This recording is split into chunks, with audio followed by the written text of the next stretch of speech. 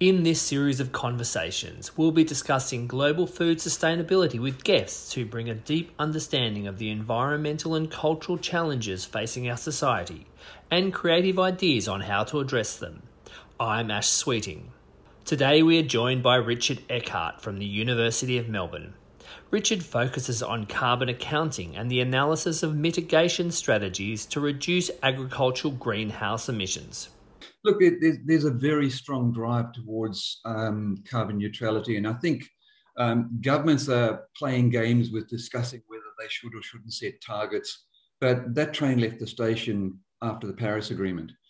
If, you if you're a farmer currently on the land um, wanting to do something, there are the 10 to 15 percent reduction in methane options you've got just through herd efficiency, so we're seeing farmers access premium markets on carbon neutrality alone without trading offsets, just demonstrating carbon neutrality.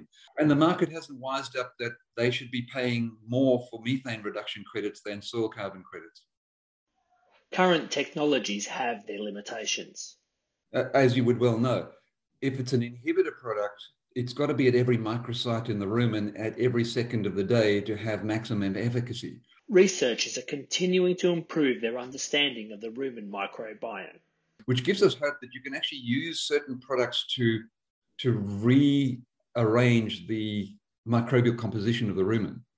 Climate change is a global issue and opportunities, and the analysis of climate impacts looks different through this global lens. What if we treated all the sheep in East Africa for worms? How much methane would you save? And it's actually a massive number. And there's a great analysis that actually showed that if you take the emissions per liter of milk and you divide it, the emissions between all the multifunctionality, the emissions per liter of milk from a dairy cow in East Africa is far lower than the most efficient Californian dairy or the most efficient um, Australian dairy. Likewise, he provides an alternative angle on the challenges involved in scaling alternative proteins the, the proportion of the world's population that have the privilege of diet choice is less than about 8% of the world's population. So, Richard, awesome. Thank you very much for joining me. Thanks, Ash. Um, yeah, look, I'm, I'm, I'm a professor at the University of Melbourne in the School of Ag and Food, Agriculture and Food. And I lead a center, a research center called the Primary Industries Climate Challenges Center. Um, and uh, our, our work um, mainly focuses on all aspects of how climate change will affect agriculture or agriculture affects climate change. So we do a lot of work in, um, in uh, elevated CO2 on effects on crop growth. We do work on extreme climate events and how they might affect agriculture. But my particular focus within the center has been on carbon accounting, carbon neutral agriculture, and mitigation strategies or the analysis of mitigation strategies that are viable to get us towards a lower emissions footprint for the agricultural sector. Um, so that's most of the work I do. So a lot of the work I do sits between the summation of all the research available and flowing through to how policy can then take that forward, or voluntary carbon markets can take it forward, or how the national inventory can adopt that method into their calculations um, and how we can then communicate that back out to farmers. So I spend a fair bit of time in that interface speaking both with the farming community and with the policy community. Just a bit on how you got to, you know, your history, how you got to where you are at the moment. I started working in sort of the rangeland systems of Africa. You can probably tell from the accent. Um, and um, so, so worked a fair bit in, in that sort of rangeland ecology, um, but also in, in, nutrient cycling in grazing systems. Um, that sort of led on to, um, and, and my undergraduate was in the biochemistry of ruminant nutrition, and then a master's degree in soil nutrition and a PhD in grazing systems. Um, so I kind of ended up in a situation where I was working on the nitrogen cycle and intensive grazing systems and started seeing that a lot of the nitrogen is being lost as gases and what can we do about that? But then when the area of climate change about 20 years ago the area of climate change and, and greenhouse gas emissions really became a, a, a sort of more prominent issue. Um, those sort of undergraduate skills all came to play because i knew enough about uh, ruminant nutrition to start up projects in enteric methane loss. So you see, I've done a fair bit of work on dietary supplementation to reduce methane. Um, so all, all that biochemistry of ruminant nutrition was really essential. I've published a fair bit of work on nitrous oxide emissions and nitrogen cycling in agriculture because I had all that soil science background in the soil nitrogen cycle. And more recently, what's really come to the fore is soil organic matter, soil carbon as part of the picture. And so, again, all that background in soil science leading to nutrient cycling has played a role. So, I found myself in a fairly unique position of being able to do more that collective systems analysis um, because of the understanding of all aspects of the system, the points of influence. Um, so, right now, um, because the Australian government took a sort of less investment in the methane side of the equation. Most of my methane work is actually now being done in Central Africa with the International Livestock Research Institute. Um, they've got the same methane chambers as we used to have, we do have in Australia. Um, and um, so, so I do work on beef cattle and legume, tropical legumes in East Africa. So that's awesome that you've got that um, that crossover between the the soil, the the rumen microbiome, and the grazing systems, and the, and the nutrient cycling. From the research you're doing, where do you see the um, the greatest hope or the greatest opportunities to to change? If you if you're a farmer currently on the land um, wanting to do something, there are the 10 to 15 percent reduction in methane options you've got just through herd efficiency, through uh, weaning percentages, through maybe bringing legumes back into your system those are the sort of do now things. But what's really transitioning is the opportunity to dramatically reduce methane through supplementation. So we've done work on oils and tannins, which gets you sort of to your 20% reduction in methane. But there are other products coming on the market which we know about that that are, are, are market ready that scale up to sort of the 50% up to and some of the more recent products that we're seeing coming through that can get up to the 80% the big opportunity, I think, is then how do we deliver those products into the extensive grazing industries? Um, because what we've currently got is, you know, you've got your products from DSM Nutrition, you've got your seaweeds that, that are claiming the sort of 80%. But in any inhibitor product that you've got, uh, as you would well know, if it's an inhibitor product, it's got to be at every microsite in the rumen at every second of the day to have maximum efficacy. So in theory, in the laboratory and in vitro system, you'll get sort of 95% reduction in methane or inhibition of methane. But the moment you scale that through to the grazing industries where you're only putting it in once a day or once every couple of days, therein lies the challenge because your efficacy just crashes. Um, and so some form of slow release mechanism, a bolus, a slow release capsule, is going to be essential to deliver these active ingredients at a more consistent rate in the rumen. Um, so, so that I see as the this sort of big opportunity. A generation from now, I would see that we might actually only be using some of these inhibitors in the confinement industries, but in the extensive grazing industries, we might be using a product, an inhibitor, to train the next generation to be low methane. So there's a very good publication in, in this journal Science that came out by an author named uh, uh, surname Meale um, that showed that you could use a product like 3NOP to feed to the cows and calves and for three weeks through the weaning phase. And then the animals remained 20%, 30% less methane for the next 50 days, um, which gives us hope that you can actually use certain products to, to rearrange the microbial composition of the rumen. And, and that goes back to some of the, it's called early life programming, and it goes back to sort of human nutrition, which suggests that your and my gut microflora are a product of our upbringing. And it is the same for ruminants. And there is an angle there, um, and it comes into mitigation strategies as well, is that a lot of the microbes in the rumen can re uh, adjust their populations very rapidly. So if you get acidosis, for example, um, once as soon as that's over, within hours, you've got the microbes readjusting back to normal populations. Methanogens tend to take three to four days to get back to numbers. And so therein lies the potential for a strategy as well, that actually you might, some strategies that crash their population might not need to be fed every day. Um, inhibitors do, because they don't actually get rid of methanogens. But if you had something like an oil that does actually suppress methanogen numbers or a tannin or uh, essential oils, um, you can actually drop their numbers and they take a longer time to recover. So there's an opportunity in that gap as well. Um, one of the things that um, I guess a lot of this comes from um, speaking with uh, Professor Athol Klieve, UQ, um, DAFQ, and his work across species.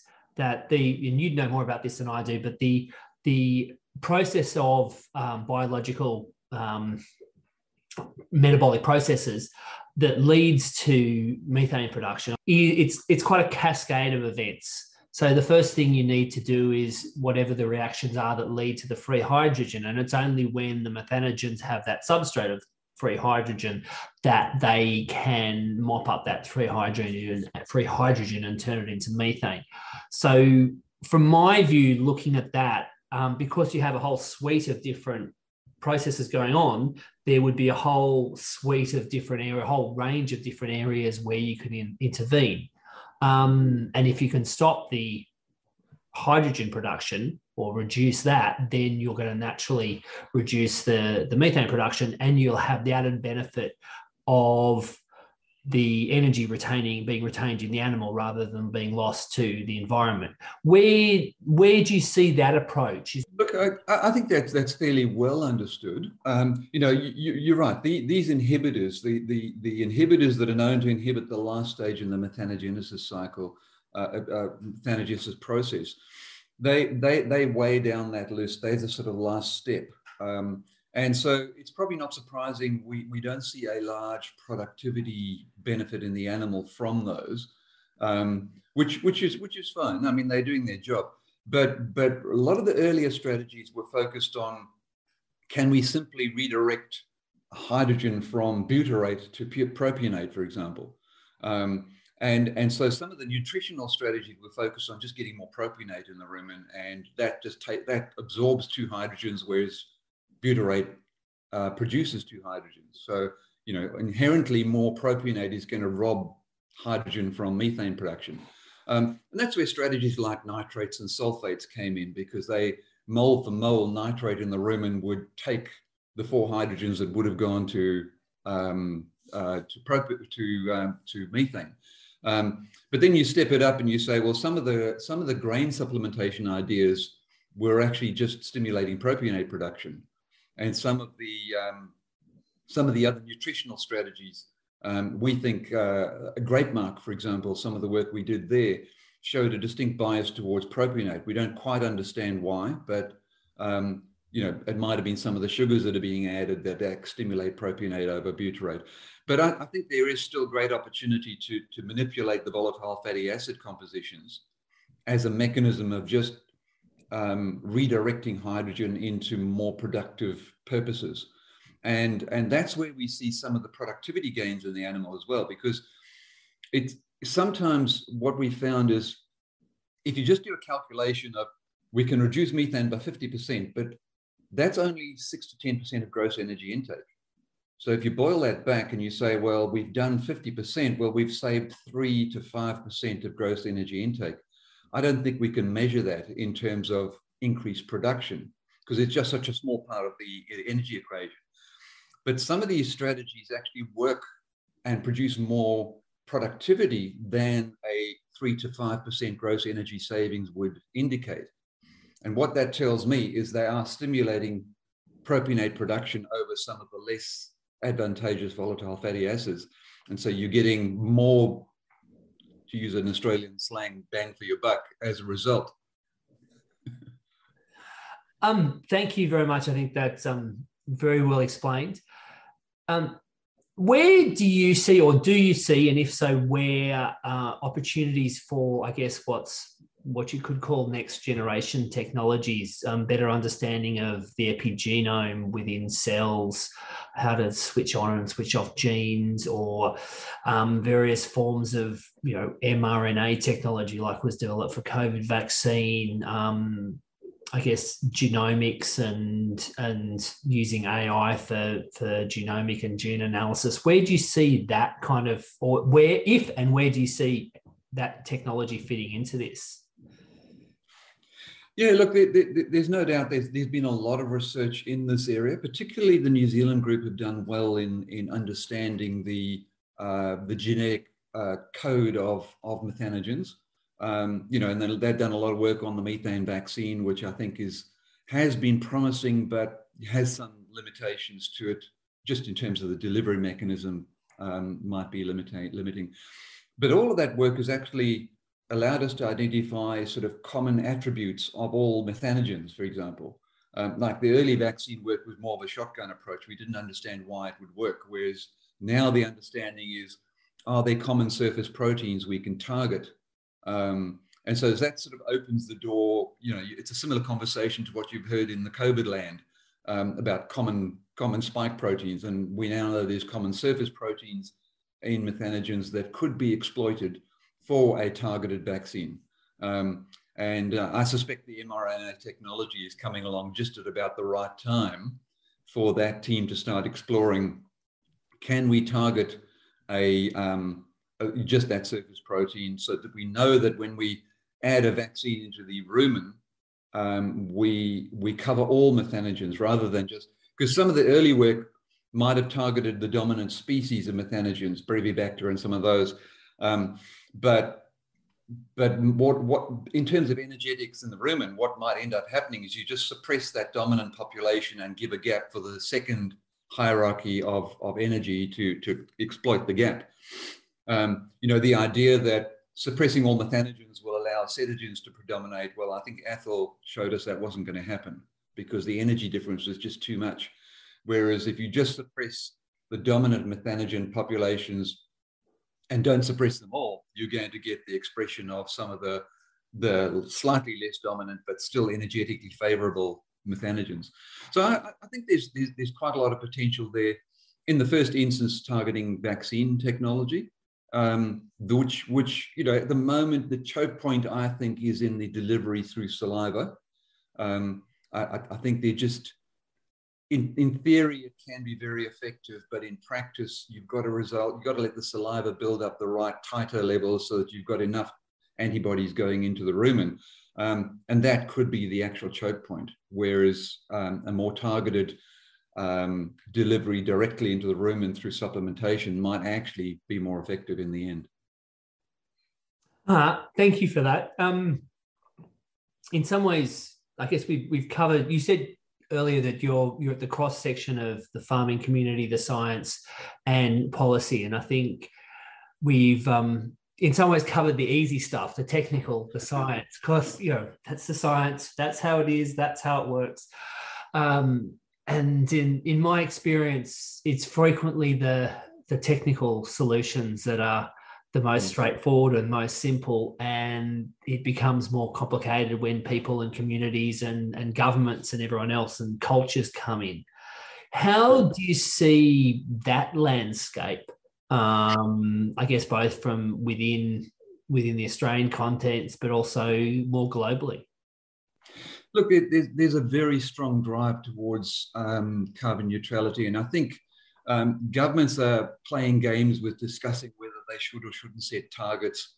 But that train left the station after the Paris Agreement. Uh, what, what we know is that after the Paris Climate Agreement, a lot of the multinational agribusiness companies, supply chain companies, have all set targets that are consistent with the Paris Agreement. And, and you think of Australia, 70% of our produce is exported.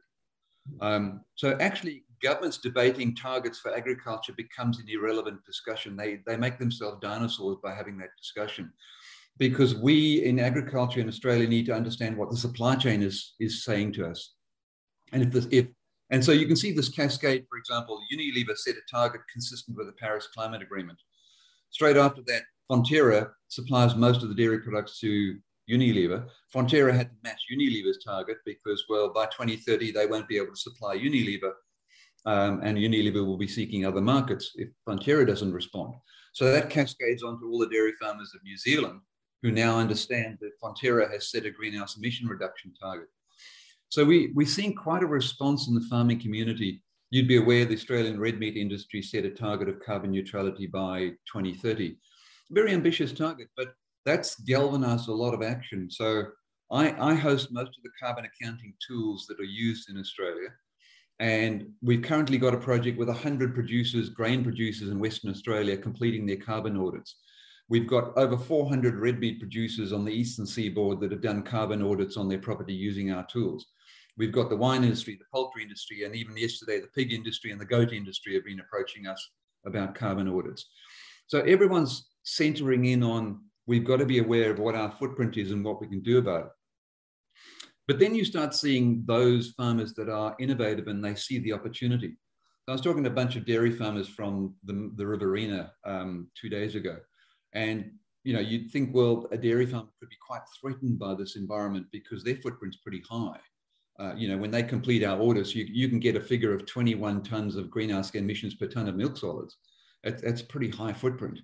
Um, and halfway through, one of the producers there said to me, "Oh, you know, so this this product 3NOP in a confinement dairy could deliver about a 75% reduction in methane. What did you say the green the global warming potential was? 28. Multiplied by 28, and you told me Mootral has a method that will recognize 3NOP. And before long, he was saying to me, "Listen, this is 600 bucks per cow per year that I could get for spending a dollar a day on a cow." Um, and suddenly you see where the smart guys are thinking. You know, he, he quickly figured out from my presentation, forget soil carbon, I'm never, never going to make money there. But if I get one of these inhibitors that's highly effective in a confinement system and I can get it into that cow every day and every mouthful, I could get 600 bucks per cow per day, uh, per, per year of offset income, even just on the voluntary market.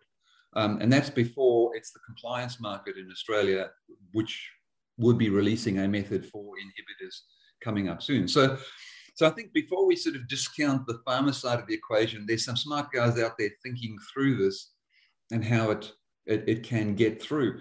I, I, met with two sort of younger uh, sheep producers from central New South Wales recently who wanted to have a chat to me, and they were recognizing that this idea of building soil carbon and getting paid for it was only rewarding bad farmers because, well, why was your soil carbon low in the first place? Um, and they were saying the, they've got a, a, a, they've, they've thought through a mechanism by which farmers who've done the right thing, who've got a high level of carbon in their soil and have got good farming systems, low emissions intensity, can get rewarded by the market. Um, now, it's not a carbon credit market, and they, they are just brilliant in what they've come up with, and all power to them because what they will do is they will accelerate the good farmers and reward them for what they've already done, and then give them incentive to do more, rather than just rewarding those bad farmers for coming up to what we might consider standard practice. So, before you discount the adoption side of the equation, there's some smart guys out there that are thinking this through very carefully and are finding opportunities in the marketplace. So I hope um, that answers your question. The more, the more you say, the more questions I have. So um, I don't know where this is going to go, but um, that leads to two things. Firstly, um, I'd be really interested to hear um, a bit more about how you're approaching carbon accounting and in terms of making that, um, I guess, operable at a scale that is not, you know, overly um, expensive and time consuming. Um, so if you could give me a bit of a, a insight into that. Sure. Um, so so um, we, we worked in this area for quite a long time, and we started out just doing the direct what the national inventory said about your greenhouse gas footprint and all that. And so some of our early tools were just reflecting that. Um, over time, we've worked with uh, the National Carbon Offset Standard in Australia and the Climate Active, which is now Climate Active. Um, and started understanding how what would be the right way to do carbon accounting. So it's kind of an iteration that's gone on, and we've we've landed at a place where we are consistent with IPCC methodology, but we're also consistent with ISO 14001, uh, 41, so the LCA uh, approach. Um, so all our carbon tools now, and, and we've written this for Meat and Livestock Australia to say, well, this is what we mean by being carbon neutral.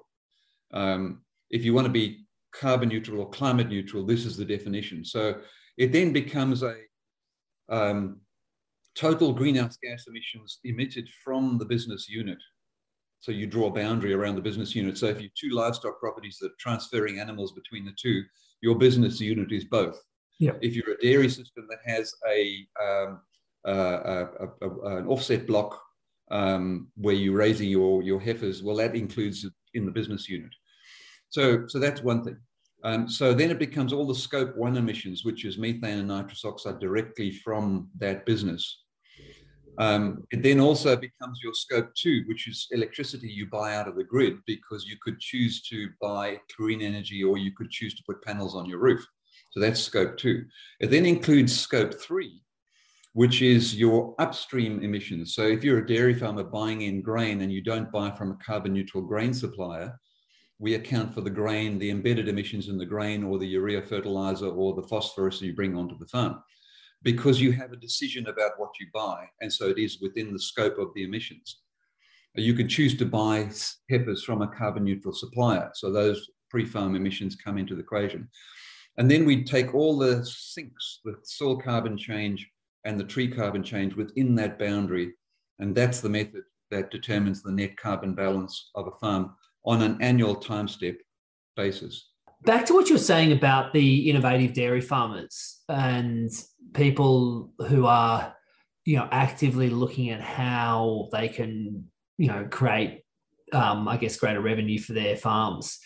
Do you see that changing the I guess the the structure of the farming community over time, or um, or the nature of whether that's larger farms, different makeups, or having an impact on on the structure of the farming community?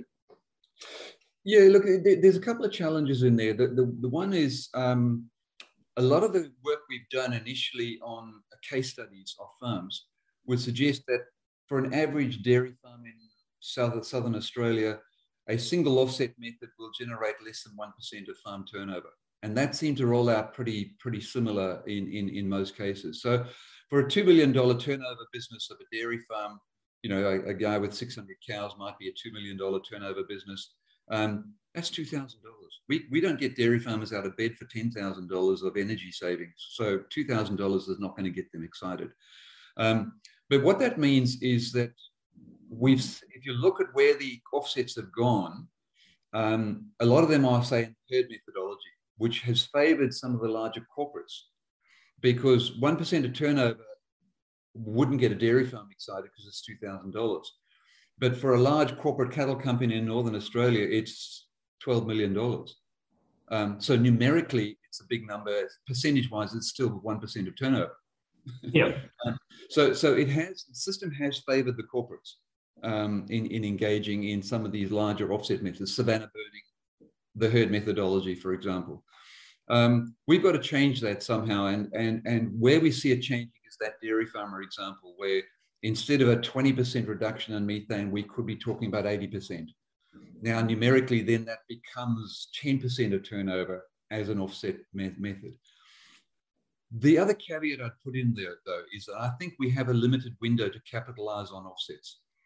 Currently, if you get involved in offsets, you can get your $600 per cow if you've got that supplement.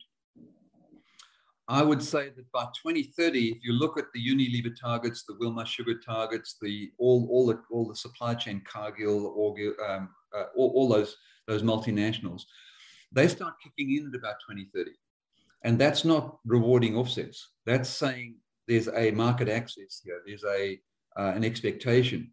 So we have a window between now and 2030 to either capitalize on trading offsets or demonstrating carbon neutrality and accessing premium wool markets like one of our clients has done, or accessing premium uh, meat markets in Fed Square restaurants. Um, that's another case study.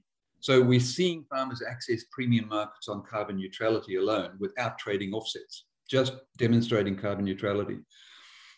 But you'd have to say that by 2030, it's that's going to fade because it will all fall into market expectations.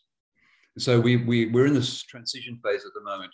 Um, and there's also talk in the scientific community that somewhere between now and 2050, offsets, carbon storage offsets, will be reserved only to draw down the atmosphere rather than offset greenhouse gas emissions that should just be eliminated. Um, so, so we'll, we'll see the change in emphasis in soil and tree carbon offsets being reserved only for drawdown. Yeah, that makes sense. Um, and I would put it to you that no business will get away with just using offsets to get to market access. So both both sides are going to evolve simultaneously. I guess essentially what's going to happen there. Um, I guess where where do you see the the international stage? You said you know you're you're from Africa. You're doing a lot of research in Africa. The dynamics of farming systems in Africa are quite different to the Western world, North America, Europe, Australia. Um, how do you see um, the tools that have been developed in the West being appropriate for, for those markets or uh, or applicable for those markets? Yeah, no, exactly right. Um, you know, one of the projects we're involved in in East Africa is um, what if we treated all the sheep in East Africa for worms? How much methane would you save? And it's actually a massive number. Um, and so you could see a, an early win to be to be gained there because you've got um, wealthy countries with philanthropy that would invest in greenhouse gas reduction and animal welfare if the two could be combined. Um, and so you could see a, a, a big rollout of, um, of aid into improving animal health as a result of reducing methane. Because, you know, stomach worms affect permeability in the gut and therefore affect gut flow rate. And therefore, animals with worm infections can produce a lot more methane than they would otherwise. Um, another way of looking at it that we, we've, we've started, and that's one of the meetings I'm having with one of my PhD students in Nairobi today, um, is doing a, a, multifunctional life cycle assessment of some of these systems because traditionally we've said, well, a dairy system in Victoria is far more efficient than a dairy system in Africa producing three liters of milk above the calf. Um, but and when you when you do the analysis in a different way and you say, well, actually, that animal has a multifunctional purpose. In order to be vegetarian in that village, they need that animal to plow the field. Otherwise, they would need a diesel tractor. Yep. So let's attribute some of the green, sorry, there's a Mozzie here. Um, uh, that they need to buy a diesel tractor to plow the field, so the animal is draft power. Let's attribute some of the greenhouse gas emissions to draft power. The next step is, well, that animal is a bank account. The, the, the, your symbol of wealth is whether you've got 15 cattle or five cattle. Um, so let's attribute some of that to, to wealth. Now, that's part of the tragedy of the commons in Africa is that 15 skinny cattle are worth more than five fat, healthy animals. Yeah. Because they don't they graze on a communal resource, which is why there's so much overgrazing. But that's that's part of the equation. You could also then say to be vegetarian in that village, you need those animals to be corralled at night and the dung and urine to be collected as fertilizer. Otherwise, you need to buy fossil fuel generated fertilizer to fertilize your field. And there's a great analysis that actually showed that if you take the emissions per liter of milk and you divide it, the emissions between all the multifunctionality, as a consequence of not consuming diesel, as a consequence of not consuming fossil fuel fertilizers, the emissions per liter of milk from a dairy cow in East Africa is far lower than the most efficient Californian dairy or the most efficient um, Australian dairy. So that's, um, that's that's um, unsurprising and fascinating. Um, have you have you come across any papers where that's been? Yeah, I can send you a, one called Multifunctional Life Cycle Assessment, published by this group in Nairobi. That um, sounds that sounds that sounds well worth a read. That is absolutely fascinating because you know it is the draft animal. It is the you know the bank account. Um, yeah. You're providing direct protein to you know. There's no pasteurization. The kids are you know, or the families basically drinking the milk pretty much straight out of the cow. Um, so there's so many other and and that whole I guess it's that whole um, you know the waddy agriculture type thing where the animals go and graze the rangelands and bring the nutrients back to the vegetable and the the gardens. So you're providing all that fertilizer. And um, you know i don't know about you but i spent most of my life in africa and i don't recall seeing many african children with eczema or asthma or um, uh, you know nutritional disorders um, i think there's a there's a cause and effect there of good immune systems from the beginning.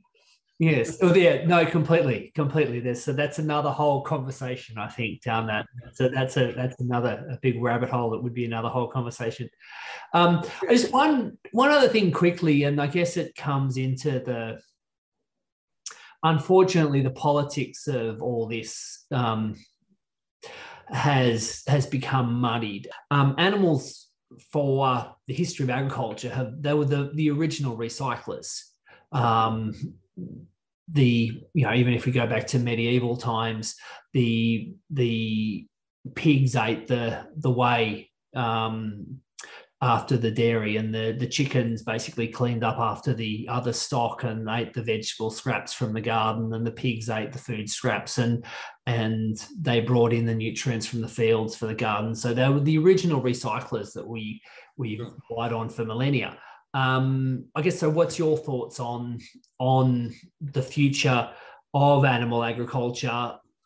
Yeah, look, it, it is is a big subject that, um, and and there've been a, a number of publications uh, suggesting that you know how much global warming we could avoid by eliminating ruminant agriculture, and um, I think a lot of those are extremely naive publications. Um, that just to put it out there right from the beginning, they, they're nice theoretical studies, um, but they have no practical grounding.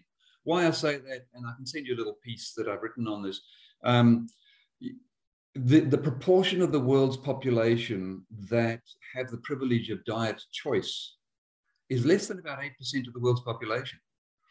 The rest of the world doesn't actually get a choice over what they eat. There's a number of metrics you can use uh, that, you know, one of them is um, 16% of the world's population earn over 20 US dollars a day. Um, let's say that that's some cutoff as to whether you do or don't have determination um, over what you eat. Um, you know, most people under that probably just eat what's in front of them. Hmm. Um, so if you take some of those metrics, and I've got some other indicators of, of the proportion of the world's population, it sort of brings it down to single figures of the world's population that even have the choice over whether they eat ruminants or not. Um, and that then becomes very limited to the most wealthy of the world, which you, you and I know that you, know, you, you and I sit in 1% of the wealthiest people in the world. Let's apply that across and say, well, how does that uh, uh, um, align with diet change? Most people in Africa don't actually eat the animals on a regular basis. They need them as part of uh, food security and resilience. So if you're in the Sahel region of Africa, you can't survive the frequency of droughts without having livestock to provide milk um, to buffer the crop failures you might get. Um, and so, so in terms of the developing world, which is where most of the livestock are, they are integral to food security. So we, we really don't want to fiddle with that um, because you know taking away the uh, food security that they currently have would make them just dependent on industrial agriculture sending food into the developing world rather than self-reliance. So, so I think those, those kind of studies, they also ignore um, the mitigation options that are coming through now. So that actually, if you roll out mitigation options, say in the next 20 years that reduce methane by 50%, that's almost better than what the coal industry is going to achieve. Um, so it ignores the potential to do something about it. So I, you know, I, I come back and say, uh, oh, the, the other side of the equation is we, we also know that the world's rising middle class, you've seen the graphs, as you, as you increase in personal affluence and your own GDP, um, your own personal wealth, there's a clear trend for demanding more animal-based protein in the diet. Now, if you follow that through and you, you say that 4.3 billion people will be added to the rising middle class by 2030, 4.3 billion new people. Um, Australia could more than triple its livestock production, its red meat production, and still not meet demand. So the notion that the world's going vegetarian to save the planet is completely, it's not grounded in any form of reality. Um, we're going to have 4.3 billion people all wanting more red meat, uh, or meat generally, rather than just red meat. You know, a lot of it is white meat first and then red meat later. Um, give you an example. The, the, a talk by Rabobank the other day the fastest two subsectors of growth in livestock demand in the world is the rise of McDonald's in China. So it's the uh, the red meat required for hamburgers in McDonald's in China, and it's the cheese required for, it's the milk required for cheese on hamburgers in China. Um, if you had to sort of boil it down to subsectors. And so, so I, I think it's a nice theoretical exercise to say if we went vegetarian, and there's no doubt that if you're an average American eating 45 kilos of red meat in a year, well, your doctor would be happy if you just cut that by half anyway. So moderation of that 8% of the world's population that have choice over their diet might be a good idea from a health point of view. And you might reduce your personal greenhouse gas footprint. Excellent. Um, thank you very much. Is there anything else that you you think you'd like to add that we haven't haven't discussed?